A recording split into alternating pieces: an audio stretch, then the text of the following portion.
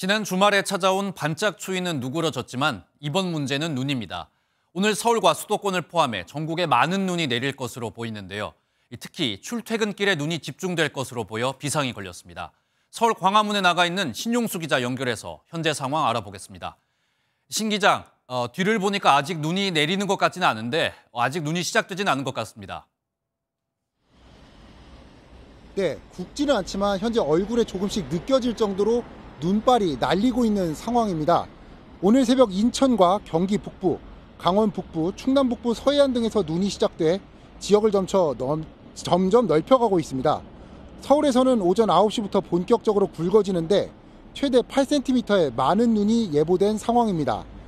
또 경기도와 경북 지역 일부에는 5에서 10cm, 강원과 충북 북부에는 5에서 15cm의 눈이 내리고 강원 산지에는 최대 20cm 이상의 폭설이 쏟아질 것으로 알려져 주의가 필요한 상황입니다. 기상청 예보 한번 들어보겠습니다.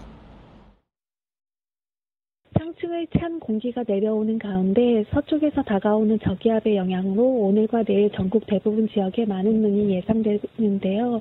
눈구름대가 발달하면서 오늘 서울을 포함한 수도권에 시간당 1에서 3cm의 매우 강하고 많은 눈이 내립니다. 오전부터 시작된 눈은 오후에 더 강해질 가능성이 커서 출근 시간은 물론 퇴근길에는 빙판길로 인한 교통 대란이 우려됩니다.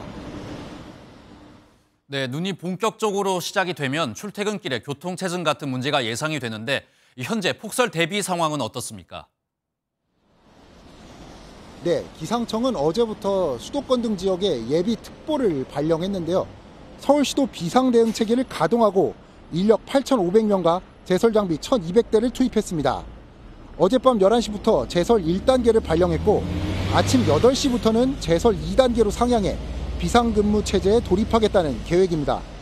또 지하철 1에서 8호선과 신림선, 시내버스 전 노선은 출퇴근 시간대 집중 배차 시간을 각각 30분 늘렸습니다. 출근 때는 오전 7시에서 9시 30분, 퇴근 때는 오후 6시에서 8시 30분까지 집중 배차 시간이 운영됩니다. 또 지하철 9호선과 우이 신설선도 비상대기 열차를 운영해 비상시 곧바로 투입할 예정입니다. 지금까지 광화문 광장에서 MBN 뉴스 신용수입니다.